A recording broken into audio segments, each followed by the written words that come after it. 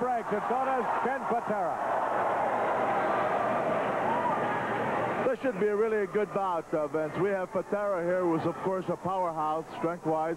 Also, since he took off weight, moves better than ever. Also, is vicious and more vicious than ever. Against, you know, Dominic has been around a long time, who really, really knows sway in that ring. Dominic is very, very sharp. He himself, size-wise, they're close to the same weight.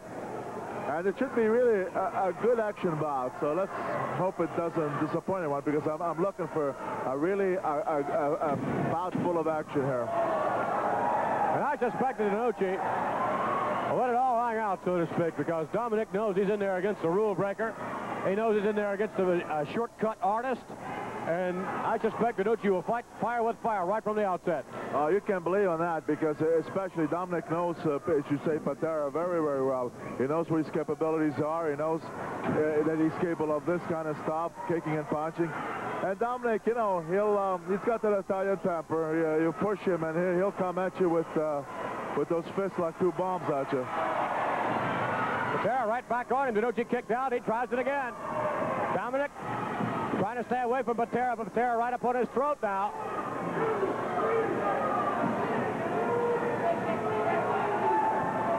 Dominic rolls right back now. He's up on his feet.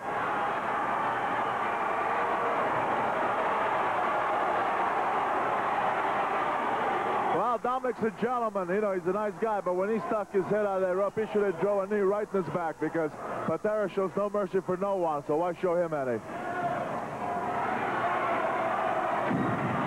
Dominic working on the left arm now.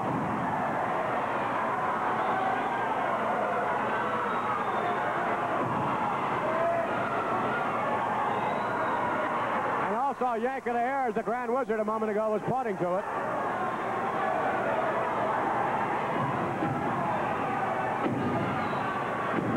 If you know if DeNucci worked on his arm and stayed on it, really punished it, that'd be good psychology for the bout against Patera because Patera's extremely strong. You take the use of or weaken one arm on him, and it's going to take a lot a lot away from him.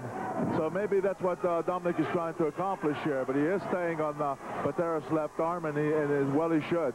And certainly uh, someone who relies on strength so much as Ken Patera does, if you weaken him, uh, injure him, that's going to have a psychological effect as well. Exactly. exactly. Oh, wow. Now coming on the outside with DeNucci. Scoops him up. Patera slams him to the canvas, kicked him in the chest.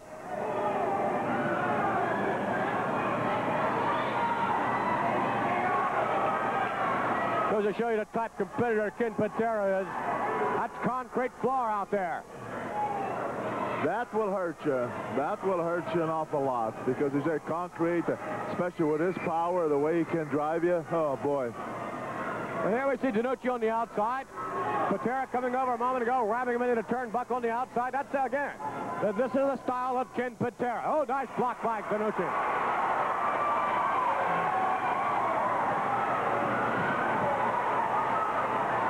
Dominic has Patera in the corner, going to work on him now.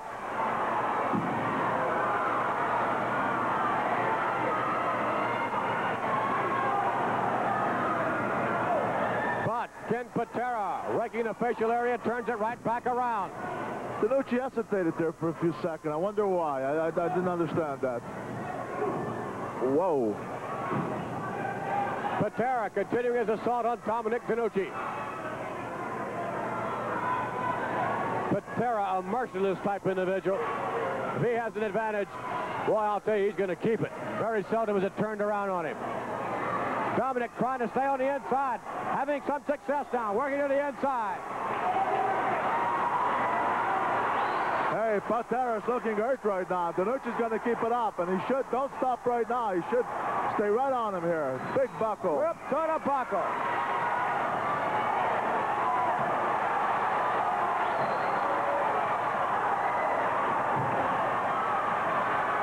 Patera reverses it. Patera, look at this.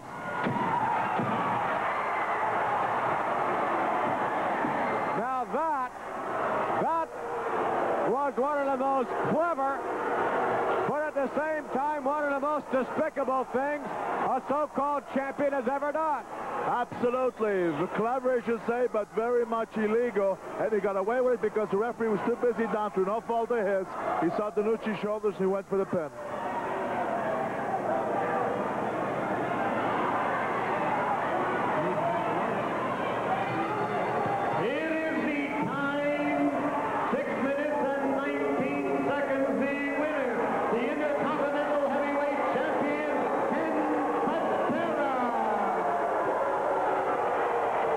Is undoubtedly one of the craftiest, one of the more controversial champions. And there we see the referee over with Dominic assisting him. Dominic has nothing to be ashamed of. It was a hard-fought match. Now the doctor over taking a look at Dominic. Let's go back now. Take a look at the way Ken Patera, so-called defeated. Here we go. Now watch this. Here, as he hooks DeNucci's legs, he throws himself up with his feet on the back.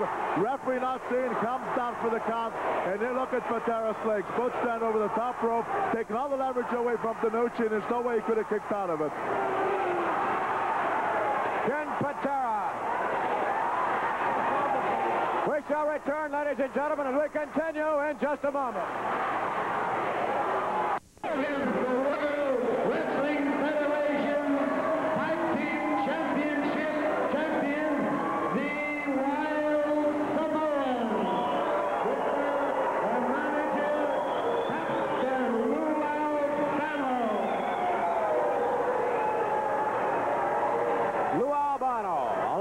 The Samoans, the tag team champions of the World Wrestling Federation in a non-title event.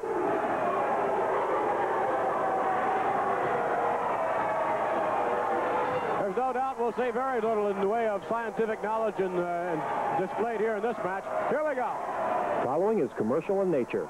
The beautiful Mennen Arena of Morristown, New Jersey will be the setting one week from tonight for an all-star match spectacular second to none. Seeing action on the card will be Mr. Pat Patterson. Mr. Patterson, every day, gets more and more fans supporting him in his exploits in the World Wrestling Federation. And Pat Patterson, indeed, looking forward to seeing these fans one week from tonight when professional wrestling indeed comes to Morristown, New Jersey's Mennen Arena.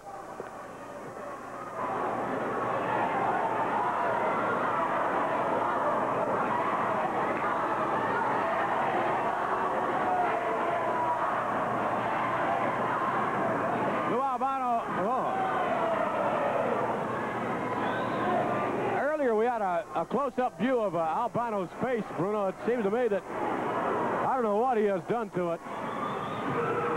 There isn't much more you could do to it, is there? Uh, I don't know, but I think he's found some sort of way. As now the Samoans double team Rene Goulet. Triple team. Well, what they did first, they got Gomez out of there, and now they've been on uh, Goulet. Goulet, of course, is the more experienced and the tougher of the two. Ah, here we go. Things round on the Samoans.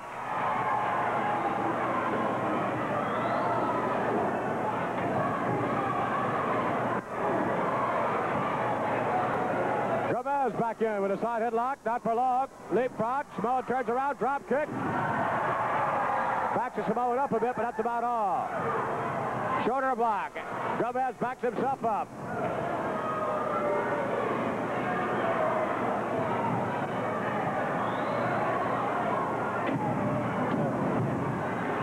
There's Albano. Looks like Albano looks like he has rings of some kind in his face. Yeah, now how in the world do you get those in there? I mean, they're pinned onto his face. Well, I guess they have to put a, what, a little hole around his cheeks? Oh, there, you can see that he has... Oh, look, you can even see the bruise. I think he's a little softer than we actually thought he was, Bruno. Oh, I never had any doubts, oh, Well, I, I, had some, I must admit, but I think he's taken that one step beyond. What you're saying is he's beyond, uh, what is it, the, uh, the, what's that, point the place, no point return, of no return. That's what I'm trying to say. I think he crossed over that fine line. But you can't knock him in terms of uh, tag team championship combinations are concerned, he has managed now the this makes the night tag team championship combination. Well, he certainly has the record. He's had more tag team champions than any manager in the history of wrestling. And in these two, uh, the two Samoans, uh, they may, uh, uh let's hope not, but uh, they may be around quite some time uh, with these titles. Whoop to the ropes. Afa lifts him really high with a back body drop.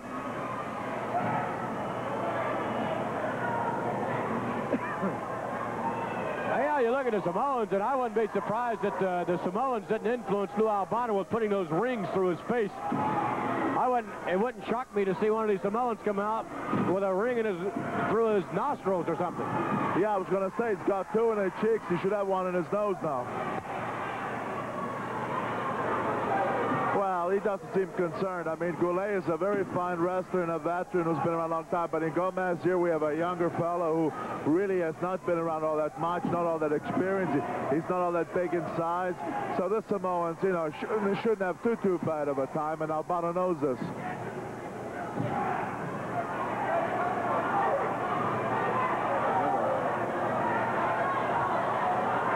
Sika in there now against uh, certainly the more inexperienced Angelo Gomez.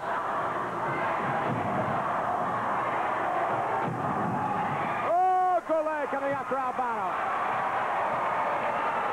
Got a shot in there. Knocked the fat man down.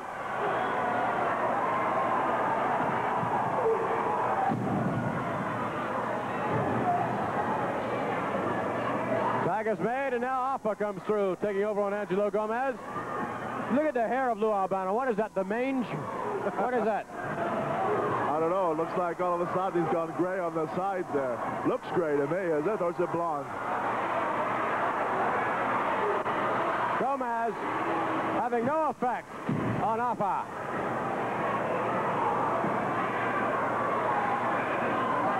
There's that goofy Lou Albano. Look at him. Boy, one look at that face.